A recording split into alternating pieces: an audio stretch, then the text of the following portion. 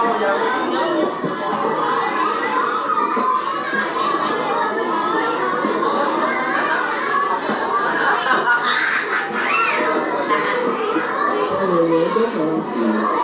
kênh Ghiền Mì Gõ Để không bỏ lỡ những video hấp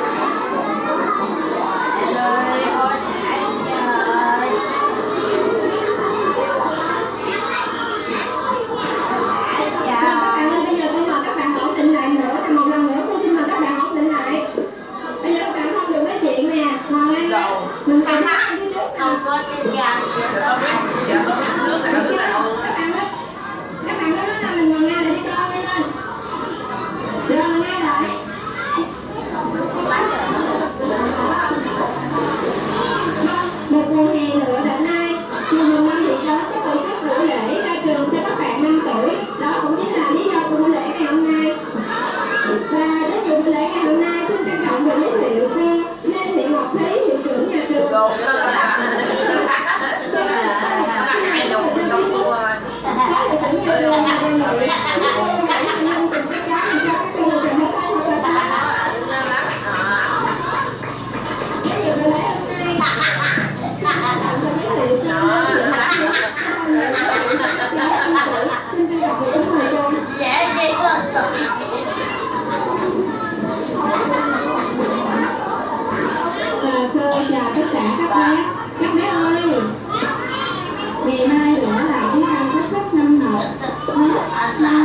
con trai Thì các con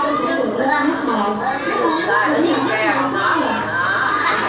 Lên các con sẽ được học chơi là học chữ là học viết Và không còn là sinh hoạt là ăn ngủ với các cô nữa Khi các con lên lớp một Cô